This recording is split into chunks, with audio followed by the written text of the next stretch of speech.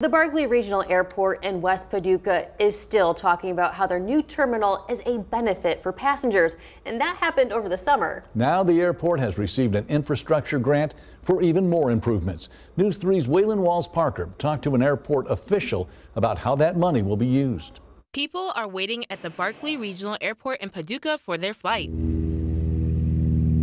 One passenger is going to Charlotte, North Carolina. I go for business for Fulton, so the other option will be too far.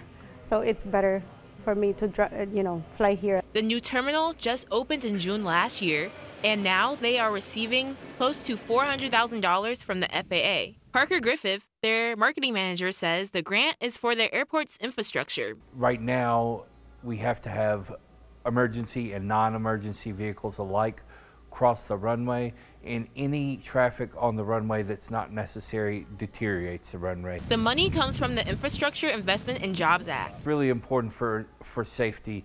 Um, you know, it, it's not a blockbuster project like building a new terminal. Griffith says the grant money will go to building a side road like this from the old terminal to the new one. So if I needed to take my vehicle now, I'd have to cross the runway. And in order to cross the runway, you not only have to be trained, but you have to contact the tower and they have to clear you. Besides decreasing runway deterioration and traffic, it will also save them time from driving about a mile and a half around the outside of the airport gates. We will apply for more grants down the road, but this is going to help us get started and uh, is really a great first step.